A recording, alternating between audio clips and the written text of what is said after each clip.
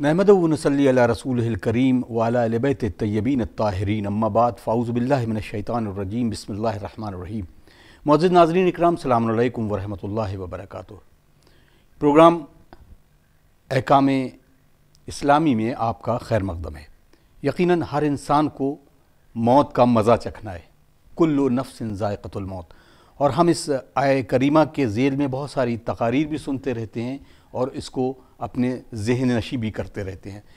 मौत का तस्करा जब भी होता है तो उसके बारे में बहुत सारे सवाल हमारे जहनों में होते हैं। तो आज इस प्रोग्राम के ज़रिए बाब तहारत में हम मैत के उन अहकाम के बारे में बात करेंगे, जिसमें गसल शामिल है, कफन और दफन के बारे में हम तफसील से जानने की कोशिश करेंगे। हमारे लिए सादत है कि इस वक्त स्टूडियो में हमारे साथ आलम दीन हजतुलस्लाम वलमसलमिन अली जनाब मौलाना मुस्तफ़ा अली ख़ान अदीबुल हिंदी साहब कबला हैं। जो हमें सारी चीज़ों से वाकफ वाकिफ़ कराएँगे। आइए नाजरीन इस्तबाल करते हैं आगा का और इस प्रोग्राम का आगाज़ करते हैं। सलामकुम आगा। वालेकुम वरहमतुल्लाह। आगा यकीनन हम बाब तहारत में गसल के बारे में बात कर रहे थे। तो जब भी बात आती मौत से रिलेटेड तो बहुत सारे सवाल होते तो मैत के अहकाम जो होते हैं उसको तफसील से अगर आप फरमा दें तो बहुत उम्दा रहेगा। आउज़बिल्लिनशैतानरजीम बसमीम अलहमदिल्ला रबालमीन वसल्ला सैदना महमद वालबीन ताहरीन बेशक मौत एक ऐसी हकीकत है जिससे किसी को इनकार नहीं है और मौत ही एक ऐसा सच है जिसको सब मानते हैं और सब जानते हैं। और वो लोग जो खुदा का इनकार करते हैं वो भी मौत का इनकार नहीं, नहीं करते हैं। अलबत् मौत मोमिन के लिए सिर्फ़ इरतहाल है, यानी इंतकाल है। एक मकान से दूसरे मकान में जाना है।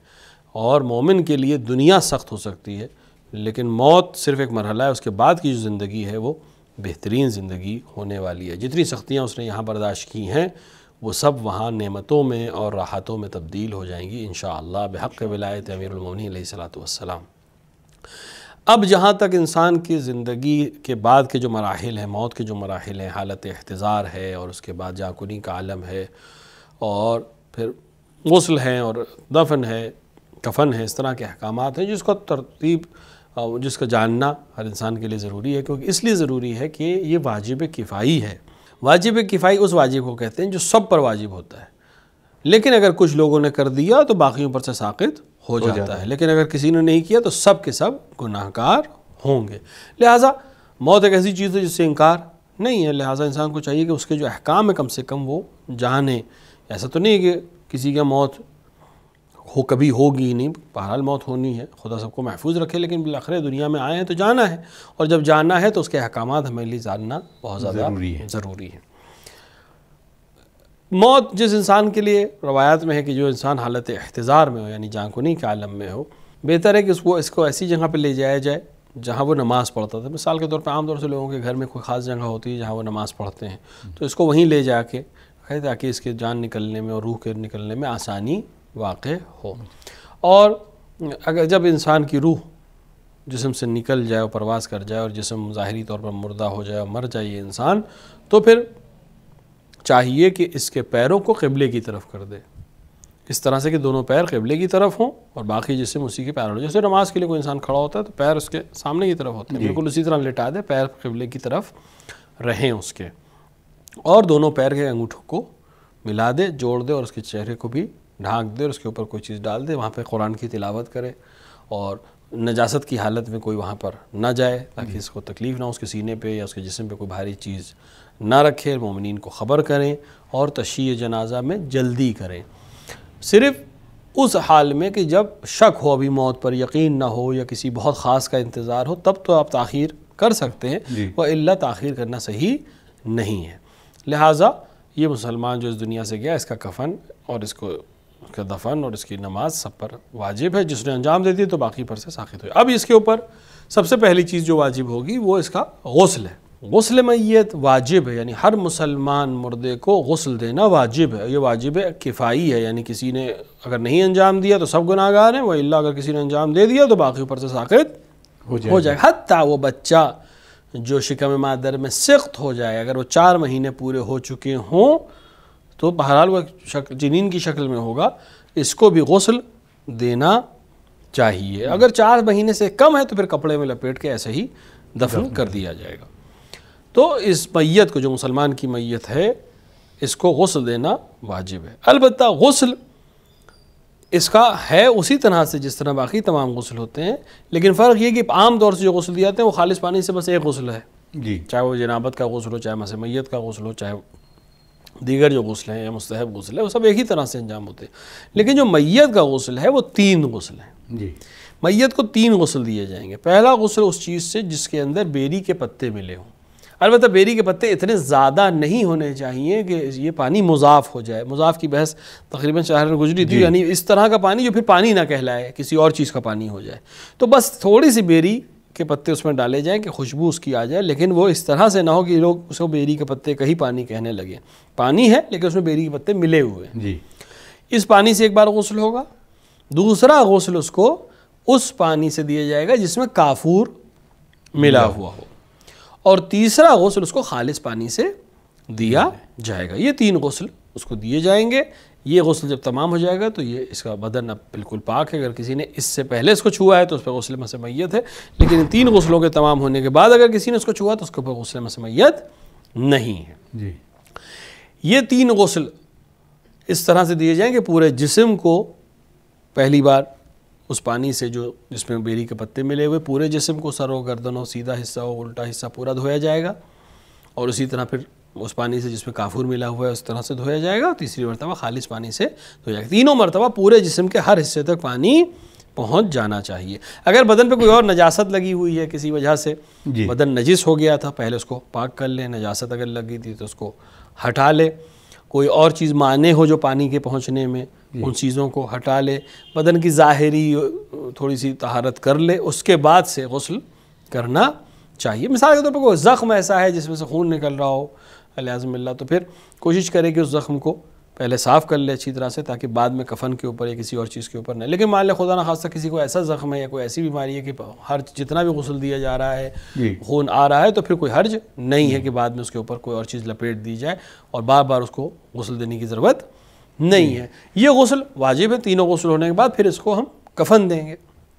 कफन भी जो मुसलमान पर वाजिब है वो हर मुसलमान के लिए ज़रूरी है कि उसको कफन अगर एक सवाल है इस, इस दरमियान एक सवाल ये कि जैसे मैयत के बाद उसको ले जाके एक तख्त पे लिटाते हैं और उसके बाद उसको नहलाया जाता है पानी इसको पहले इसकी जित, जितनी भी आ, क्या कहेंगे उसमें जो गंदगी लगी हो या ये लफ्ज़ शायद ठीक ना हो उसको साफ़ करने के बाद जो शख्स वो कर रहा होगा क्या वो शख्स ही उसको गसल भी दे सकता है? या उस शख्स को पहले मस मैत का गसल करना है फिर वो गसल दे सकता नहीं नहीं कोई हर्ज नहीं है। वो इंसान जिसने उसको छुआ है और जिसने उसको तख्त पे लिटाया है वही गसल दे सकता है। उसको कोई हर्ज नहीं है उसको उसके लिए- उसके लिए गसल मस मैत है लेकिन अभी फ़ौरन करने की ज़रूरत नहीं है। नहीं है। अगर वो गसल मस मैत के बाद क्योंकि जिसने भी इसको छुआ सब पे गसल मस मैत है। और जब तक गसल तमाम ना हो जाए जो भी छुएगा उसके ऊपर गसल मस मैत है। लिहाजा उसका कोई हर्ज नहीं है कि यही शख्स जिसने लिटाया यही इसको गसल मस मैत और यही शख्स इसको गसल दे।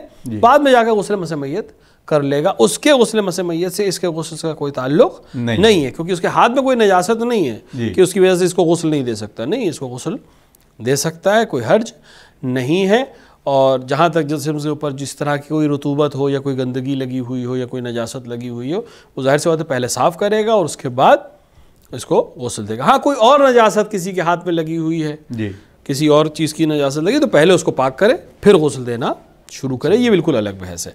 लेकिन जिस इंसान ने छुआ है और उस पर गसल मसमैत वाजिब है उसके खुद गसल देने में कोई हर्ज नहीं। नहीं। अगर जैसे अभी कुछ ऐसी बीमारी है वबा है और उस वबा के फैलने का ख़तरा है।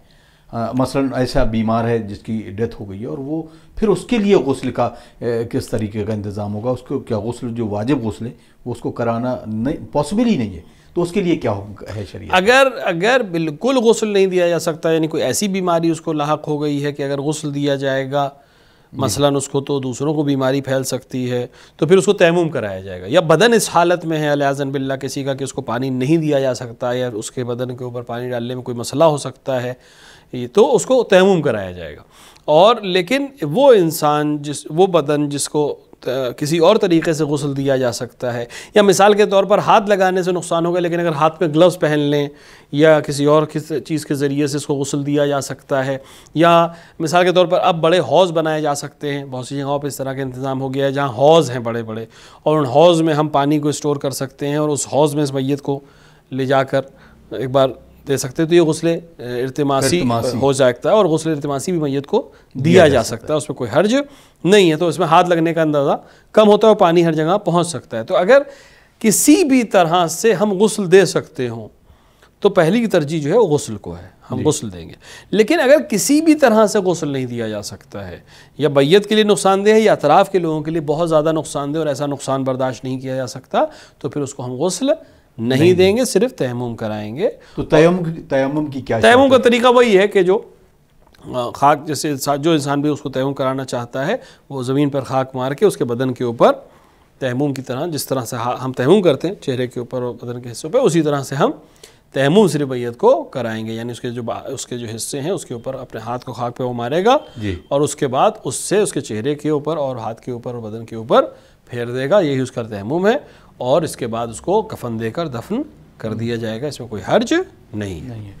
दफन की बात होती है आगा तो ऐसा शख्स जो शिप पे सफ़र कर रहा है मसलन अब उसकी वहाँ पर इंतकाल हो जाता है। तो अब उसके लिए क्या हुक्म है? और वो शिप महीनों में भी पहुँचेगा उसकी बॉडी भी डिकम्पोज होने लगती है। तो क्या उसको पानी में ही दफन किया जाएगा? ऐसा कुछ हुक्म है?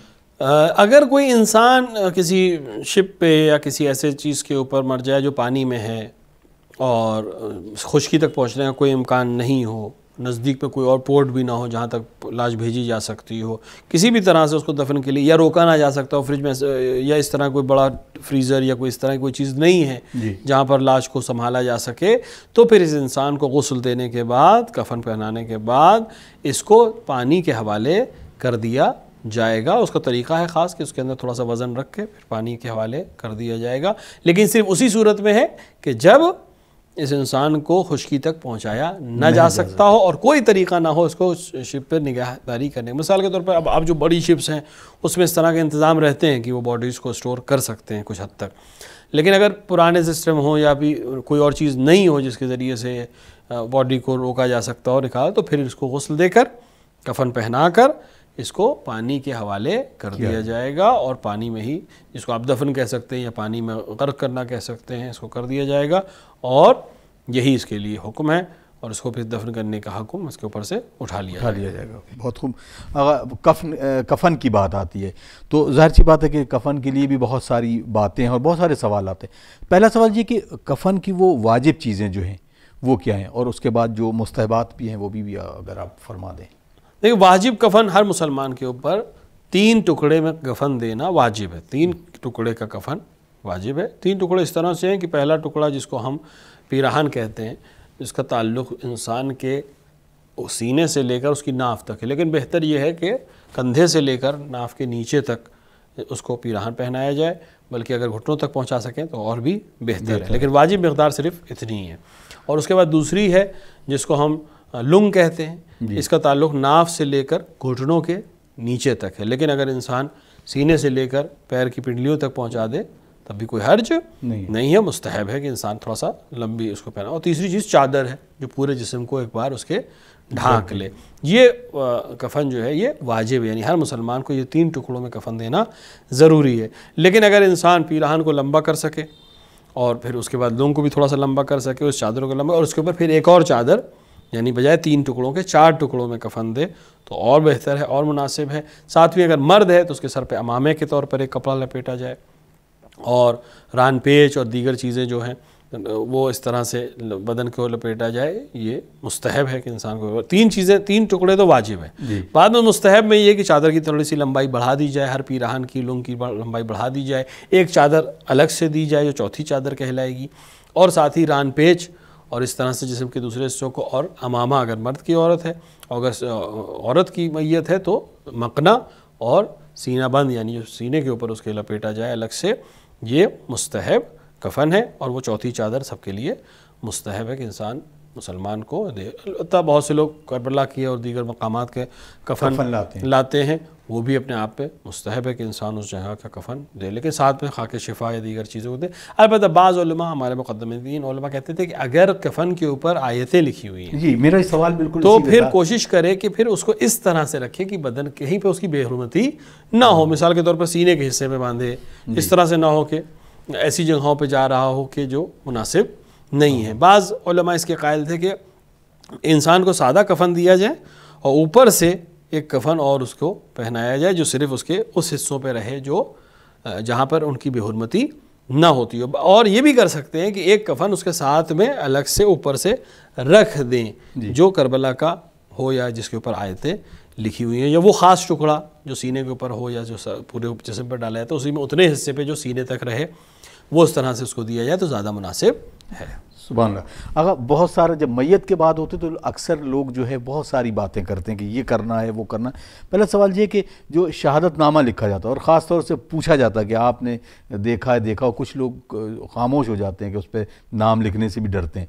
तो उसके लिए अगर आप फरमा देंगे कि क्या चीज़ें ज़रूरी हैं और क्या चीज़ें करनी चाहिए और क्या चीज़ें नहीं करनी चाहिए? देखिए शहादत नामे के लिए जो सबसे बेहतरीन चीज़ ये है कि इंसान अपनी ज़िंदगी में अपना शहादत नामा तैयार करे। जी। ये सबसे अच्छा काम है।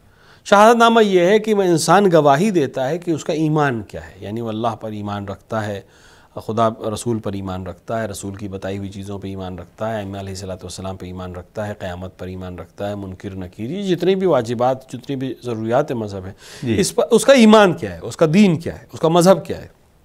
इसका एतराफ़ है ये शहादतनामा। जी। बेहतर है कि इंसान अपनी ज़िंदगी में इसको लिख ले और अपनी ज़िंदगी में लोगों से इसके ऊपर साइन करवा ले ताकि बाद फौत उसके कोई परेशानी ना हो। लेकिन आमतौर से लोग ये काम करते नहीं हैं। तो चूँकि मुस्तहब है कि इंसान के साथ शहादत उसकी वजह भी ये है कि खुदा बंद आलम जब चालीस मर्द मोमिन किसी इंसान के लिए गवाही देते हैं कि ये मोमिन है इसको बख्श दे तो खुदा बंद आलम भी उस मोमिन को बख्श देता है कि जिसको मेरे बंदे बख्शने की बात कर रहे हैं तो मैं तो खालिक हूँ मैं तो रहमान हूँ मैं तो रहीम हूँ लिहाजा खुदा भी उसको बख्श देता है। इस उनवान से शहादत शहादत में मैं गवाही देता हूँ कि ये शख्स मोमिन है। यानी ज़ाहरी तौर पर इससे हमने कोई गुनाह नहीं देखा है नमाजी था परहेजगार था।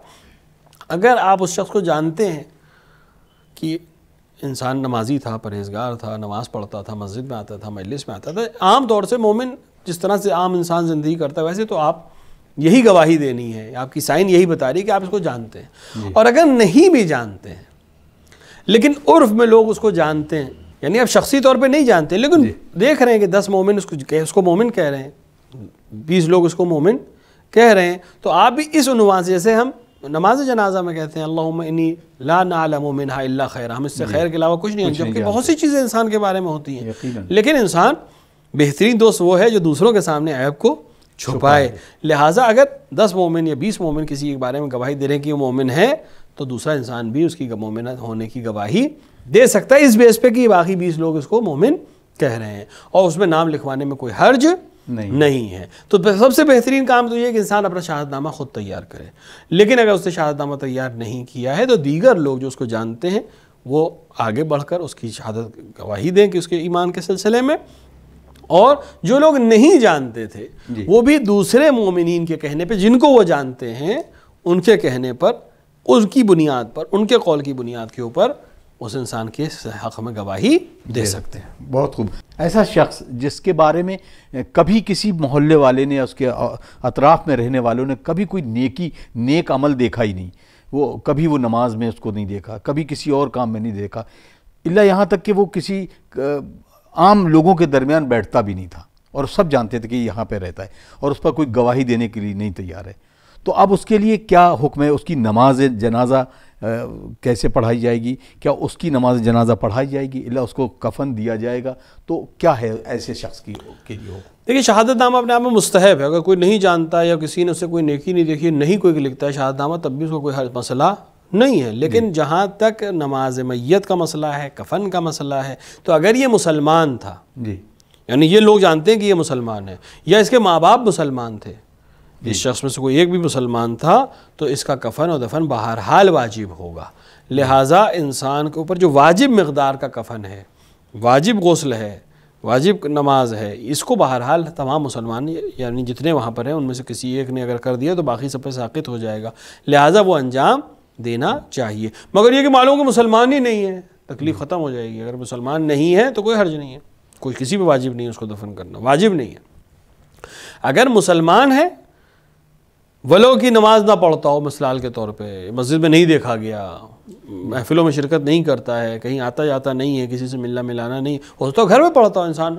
हुसन जन रखना चाहिए मोमिन के लिए उस तो घर में नमाज़ पढ़ता हो।